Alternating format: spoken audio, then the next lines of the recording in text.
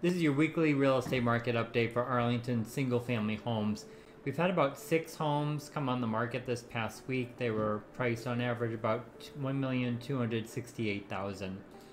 And we've had about five price reductions this week.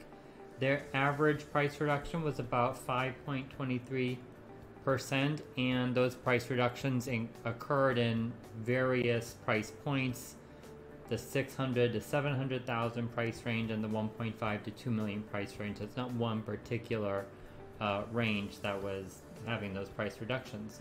Um, also not uncommon to have price reductions around this time of year.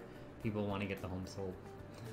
And um, for pendings, we've had six homes go under agreement. Their average days on market was about 14 days, or actually about 14 days before they received an offer and their average price when they went under agreement was 924,483.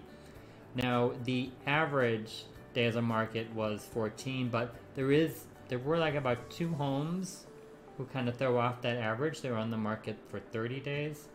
So that kind of, I think, throws off the average a bit because the other ones were on market, say, five to eight days or so, which is more typical of what we've been seeing for single family homes.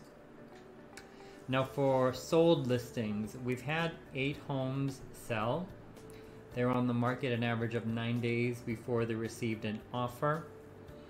And their average price was about 1,638,000. Now they sold for all across the board really uh, above asking, about 7% above asking on average. Most of the homes are sold for the highest amount above asking were in the 1 million to 1.5 million price range. And no expired listings this week. So that's it for today. If you have any questions, please go ahead and put them in the comment section below. I'll be happy to respond.